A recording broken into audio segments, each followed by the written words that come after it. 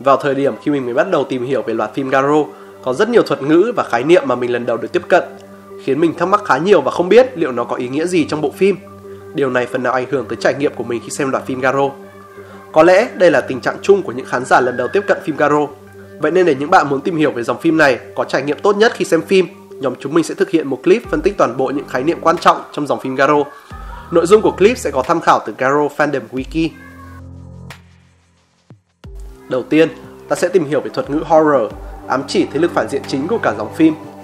Horror là những con quái vật xuất thân từ ma giới, được giải thích là sự đại diện cho mặt tối, mặt tiêu cực và tà tâm bên trong con người. Chúng tới nhân giới và nhập xác vật chủ thông qua các kết. Thường thì các horror sẽ lợi dụng một nhu cầu cụ thể nào đó của vật chủ để tương tác với họ, khiến họ trở nên mê muội, từ đó giúp chúng dễ dàng nhập xác vật chủ hơn. Horror có muôn vàn cách khác nhau để có thể nhập xác vào vật chủ. Những người bị horror chiếm hữu thì xem như sinh mạng của họ đã mất. Các ma giới kỵ sĩ và ma giới tu sĩ có quyền lấy mạng của người đó để thanh tẩy horror. Dấu hiệu nhận biết những kẻ đã bị horror nuốt chửng là sử dụng những ma đạo cụ đặc biệt như lửa ma đạo và mắt họ. Đôi mắt sẽ chuyển màu và xuất hiện các dòng ký tự ma đạo chạy quanh nhãn cầu. Thêm vào đó, horror khi xuất hiện sẽ phát ra một lượng tà khí nhất định.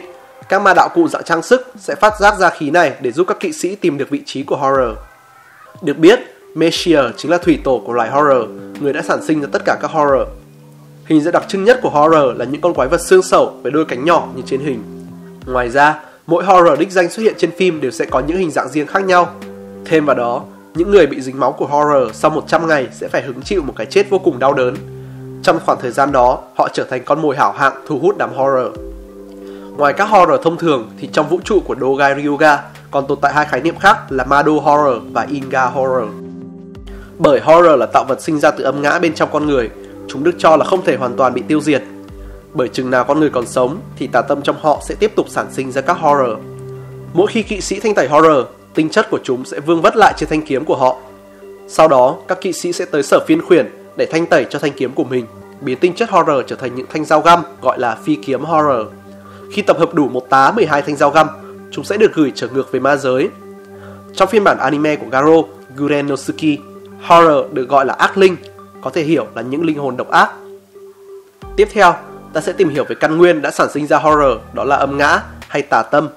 Đây là cụm từ ám chỉ đến những cảm xúc xấu xa, tiêu cực của con người như cuồng sát, tham lam, ghen ghét, đố kỵ, giận dữ, buồn tủi, căm hờn, bạo lực, nhục dục, vân vân. Những cảm xúc tiêu cực này tích tụ lại ở ma giới, nơi các horror tồn tại. Nói cách khác, horror được nuôi sống chính bằng những năng lượng tiêu cực đó. Khi nguồn năng lượng đủ lớn hoặc tích tụ đủ lâu, đủ nhiều, chúng sẽ tạo ra những kết, giúp cho horror dễ dàng tràn lên nhân giới, chiếm hữu ý chí và thân xác của vật chủ. Vậy kết có nghĩa là gì? Chúng ta tiếp tục tìm hiểu nhé. Gate là thuật ngữ để ám chỉ một vật chứa hay một vị trí nơi kết nối nhân giới và ma giới, là cánh cổng trung gian giúp các horror có thể tràn lên thế giới loài người. Thường các kết xuất hiện trên phim là những vật phẩm được tích tụ tà khí từ lâu qua thời gian. Các horror sẽ thông qua những gates này để dụ dỗ con người, đánh vào những nhu cầu, ham muốn thiết yếu nhất của họ, khiến họ chấp nhận để bản thân bị nhập xác mà không hề do dự. Gate có thể tồn tại dưới bất kỳ hình dạng nào, thậm chí là cả những sinh vật sống. Nó còn có thể được kích hoạt bằng cách tích tụ năng lượng âm tính lại để tạo thành một cánh cổng đưa horror tới nhân giới mà không cần nhập xác vật chủ. Các ma giới kỵ sĩ và tu sĩ có những cách riêng của mình để kiểm soát Gate. Những kỵ sĩ sẽ đi tìm kiếm Gate, sau đó dùng kiếm để chém tan chúng. Các tu sĩ thay vào đó sử dụng bùa chú, phép thuật của mình để phong ấn Gates lại. Thuật ngữ Gates còn được gọi với một cái tên ít tính bao quát hơn là âm vật, nghĩa là những vật chứa âm ngã. Vậy chúng ta đã tìm hiểu đầy đủ về thế lực phản diện trong Garo. Giờ hãy tiến tới khai thác những người bảo hộ thầm lặng đứng lên chống lại chúng để bảo vệ cho nhân loại nhé. Đầu tiên là ma giới kỵ sĩ, thế lực mang tính biểu tượng nhất của cả bộ phim. Ma giới kỵ sĩ là những người gánh trên vai trọng trách thanh tẩy horror. Họ là những con người được đào tạo bài bản để có cho mình những kỹ năng cần thiết giúp săn lùng và tiêu diệt horror. Đặc biệt, ma giới kỵ sĩ là trọng trách chỉ có đàn ông mới được sở hữu.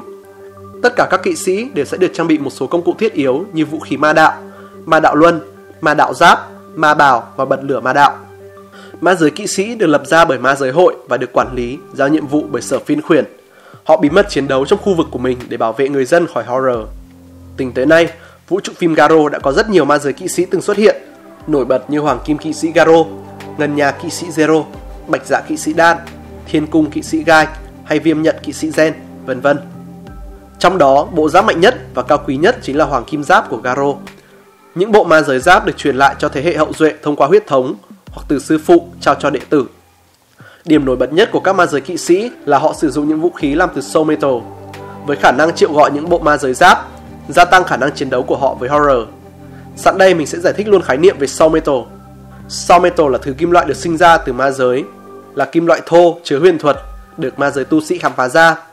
Soul metal là thứ hợp kim có độ bền cao, phản ứng mạnh với ý chí của con người, có khả năng kháng lại ma pháp. Nguồn gốc cụ thể của Soul metal vẫn chưa được xác định, nhưng ở vũ trụ của Ryuga, nó được sinh ra từ hạt giống của Zedom. Chúng được sử dụng làm vật liệu cốt lõi để tạo ra vũ khí ma đạo và ma giới giáp cho các kỵ sĩ sử dụng.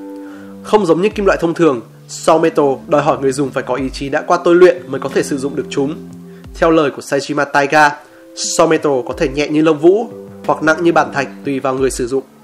Soul Metal gần như là một thứ kim loại bất hoại với khả năng tự hồi phục và tiềm năng của nó được khai thác tới mức nào hoàn toàn phụ thuộc vào ý chí của người sử dụng nó. Ma đạo giáp làm từ Soul Metal giúp các kỵ sĩ có được sức mạnh siêu phàm, tốc độ linh hoạt và sự bền bỉ. Để triệu hồi bộ giáp, kỵ sĩ vung vũ khí của mình lên vẽ ra một cánh cổng đưa bộ giáp tới với nhân giới. Tuy quyền năng là như vậy, nhưng thứ kim loại này phải được thường xuyên thanh tẩy vì nó phản ứng với nguồn năng lượng tối bởi qua những trận chiến với horror, chúng sẽ tích tụ lại một lượng tà khí nhất định. Nếu không được thường xuyên thanh tẩy, chúng sẽ bị hỏng và gây hại cho người sử dụng. Mặt hạn chế của những bộ giáp làm từ soul metal là nó chỉ có thể sử dụng trong vòng 99,9 giây và đòi hỏi người kỵ sĩ phải kiểm soát cảm xúc của mình. Nếu quá thời gian cho phép, bộ giáp có thể nuốt chửng cả thân xác và tâm trí của người sử dụng nó, biến họ trở thành hình dạng tâm diệt thú thân. Trái lại, với những kỵ sĩ xa chân và âm ngã và hòa nhập bộ giáp cùng bóng tối, người dùng có thể tùy ý sử dụng ma giới giáp mà không bị giới hạn thời gian. Hắc ám kỵ sĩ Kiba chính là một ví dụ. Thêm vào đó, nếu kỵ sĩ có ý chí đủ mạnh, họ có thể vượt qua hình dạng tâm diệt thú thân của mình và biến hóa trở thành quang giác thú thân Garo. Đây là hình dạng đặc biệt mới chỉ có Sejima Raiga đạt tới. Một thế lực với tầm quan trọng không kém các kỵ sĩ là ma giới tu sĩ, hay có thể gọi là pháp sư ma giới. Họ là những con người được đào tạo kỹ năng sử dụng huyền thuật, ma pháp, thao túng nguyên tố, võ thuật, giả kim thuật, vân vân để đương đầu với horror. Các ma giới tu sĩ có lịch sử tồn tại lâu đời hơn rất nhiều so với ma giới kỵ sĩ. Vào thời xa xưa, họ là thế lực duy nhất đứng lên tiêu diệt horror. Song, với khả năng hạn chế của mình, các tu sĩ chỉ có thể tiêu diệt những horror yếu và cầm chân những con horror mạnh hơn. Chính bởi nhu cầu cấp bách phải có một đối trọng mạnh mẽ hơn để tiêu diệt horror, những ma giới kỵ sĩ đã được ma giới hội tạo ra. Sau này khi công việc thanh tẩy horror được giao phó cho các kỵ sĩ, những ma giới tu sĩ trở thành người hỗ trợ, sánh vai cùng các kỵ sĩ trong trận chiến. Khác với ma giới kỵ sĩ, vai trò của ma giới tu sĩ không có luật bắt buộc rằng chỉ dành cho nam nhân. Không được trang bị ma giới giáp và vũ khí ma đạo như các kỵ sĩ. Xong, các tu sĩ có cách riêng của mình để đối chọi lại với horror. Họ sử dụng bùa chú, phép thuật hoặc tạo ra những ma đạo cụ uy lực để săn horror. Đặc điểm nhận dạng nổi bật nhất của ma giới tu sĩ là ma đạo cọ, công cụ chính giúp họ thi triển phép thuật. Các tu sĩ sở hữu kiến thức rộng lớn về ma thuật. Họ còn được đào tạo cả những kỹ năng thanh tẩy, thanh lọc và chữa bệnh.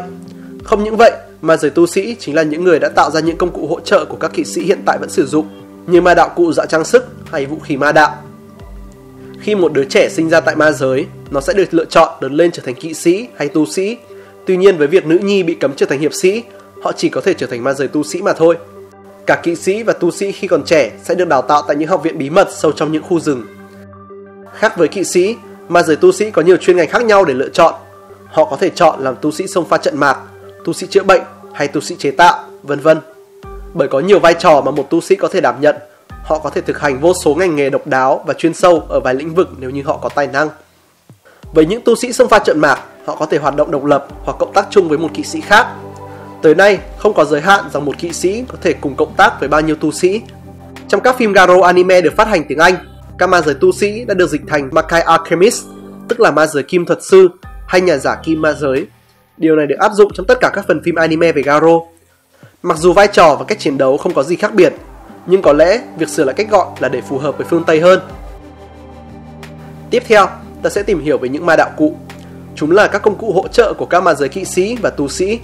Đa số chúng có bắt nguồn sâu xa liên quan đến horror.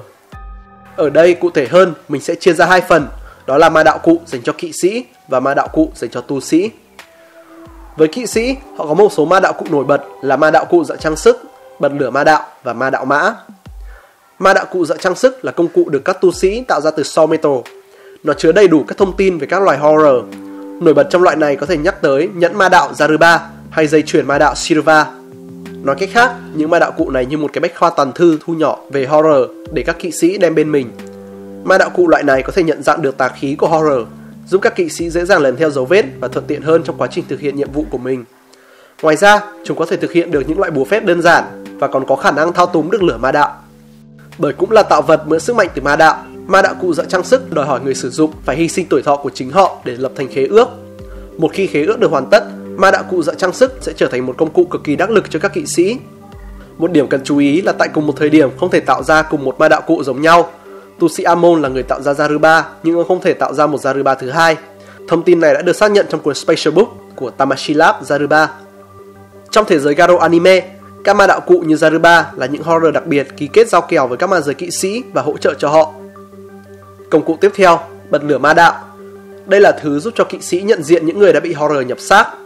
Như mình đã đề cập ở phía trên, khi đưa lửa ma đạo lại gần mắt của vật chủ, nó sẽ đổi màu và xuất hiện những dòng ký tự ma đạo chạy quanh nhãn cầu.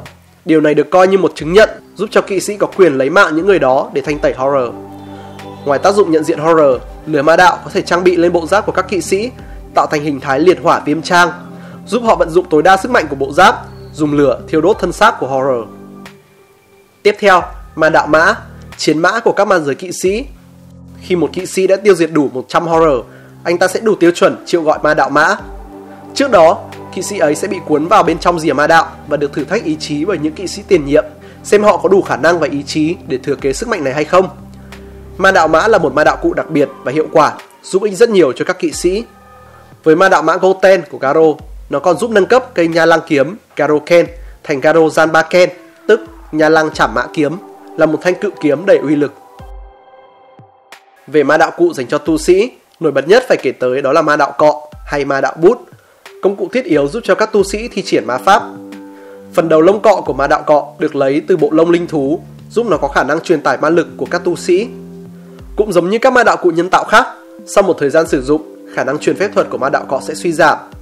Một ma đạo cọ tiêu chuẩn có kích thước vừa tay, được trang trí một số hoa văn lộng lẫy. Xong, cũng có một số ngoại lệ như ma đạo cọ của Rekka có thể trở thành sáo hoặc dao găm. Ma đạo bút cỡ bự của Akaza hay ma đạo bút có hai đầu như của Rates. Đặc biệt, một ma giới tu sĩ không nhất thiết chỉ được dùng một ma đạo cọ. Tùy theo mục đích sử dụng mà họ có thể đem theo nhiều ma đạo cọ khác nhau.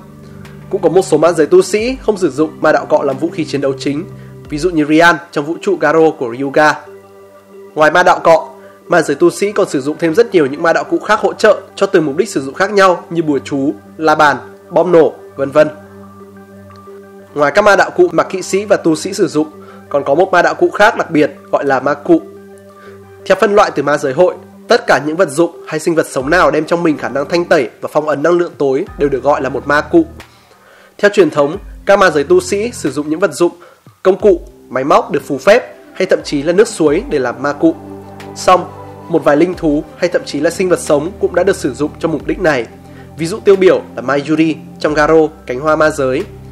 Một khi đã được liệt vào hàng ngũ ma cụ, những sinh vật sống cũng sẽ không được đối xử công bằng như con người mà chỉ như một công cụ mà thôi.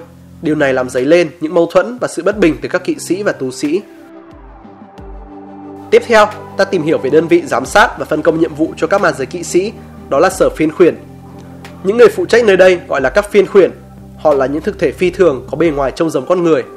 Các phiên khuyển có trách nhiệm truy lùng và phát hiện horror, sau đó truyền thư lệnh cho các kỵ sĩ về các thông tin liên quan để họ thực hiện nhiệm vụ đi săn lùng và thanh tẩy horror. Các phiên khuyển có quyền lực và vai trò cao hơn các ma giới kỵ sĩ. Ngoài việc giao nhiệm vụ và giám sát, họ còn có thể xử lý hoặc thậm chí là xử tử những kỵ sĩ phá luật nếu cần thiết. Sở phiên khuyển đồng thời là nơi giúp thanh lọc tà khí của horror vương trên thanh kiếm của các kỵ sĩ, đổ đầy chất đốt cho bật lửa ma đạo.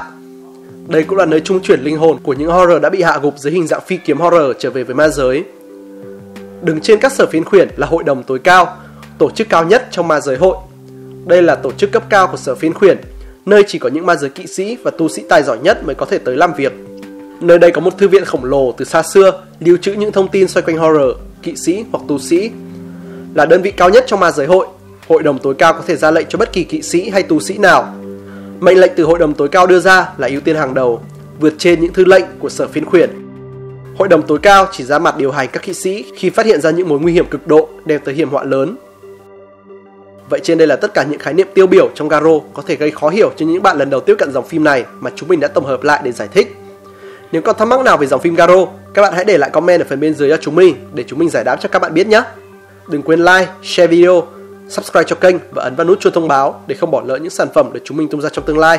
Đồng thời hãy like cả fanpage của chúng mình để cập nhật những thông tin thú vị về Tokusatsu. Cảm ơn các bạn đã dành thời gian xem clip. Mình là Kaitoki của RTK Media. Xin chào! アンネットは全て封印した。お前が最後だ。ジョーカー！俺とお前は戦うことでしか分かり合えない！